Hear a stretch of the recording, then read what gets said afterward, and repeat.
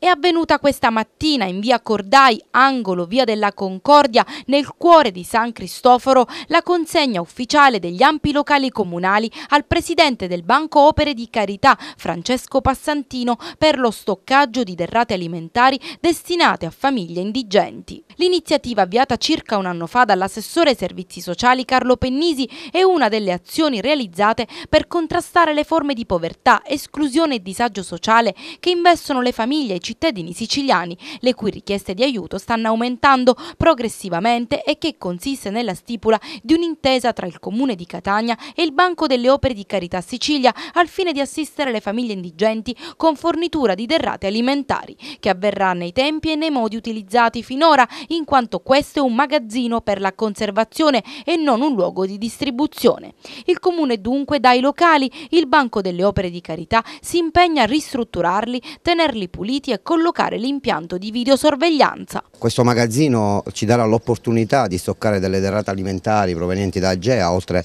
delle eccedenze alimentari raccolte per la Sicilia orientale, eh, quindi non servirà solo per lo stoccaggio delle derrate alimentari per la città di Catania, ma per tutta la Sicilia orientale, quindi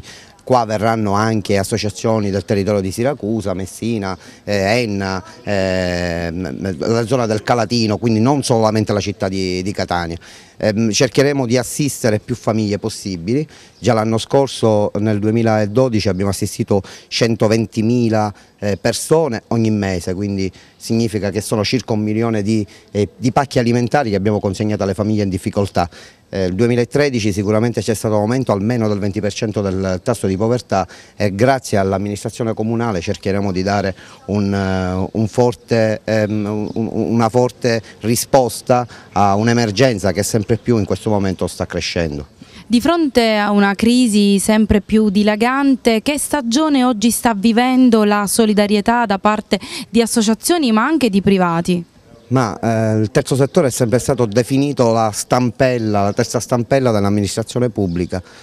Eh, in questo momento ci stiamo sostituendo anche le altre due gambe all'amministrazione pubblica perché purtroppo anche i trasferimenti eh, della regione, statale, regionali e statali sono diminuiti e gli enti locali non possono più assistere i loro cittadini, quindi stiamo cercando di dare una risposta noi del privato sociale e del volontariato per cercare di rispondere alle esigenze sempre più emergenti e quelle che vengono ad acutizzarsi. Una consegna di un locale di oltre mille metri quadri, quindi un locale molto grande eh, a titolo gratuito da parte del Comune. Quello che il Comune sta facendo è rendere disponibile al terzo settore, a questi organismi, eh,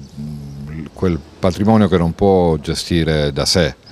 e quindi abbiamo trovato eh, che a fronte dell'impegno, del sostegno per 500-600 famiglie per un anno attraverso i centri territoriali, i loro centri di distribuzione con modalità che sono stabilite eh, insieme alla direzione,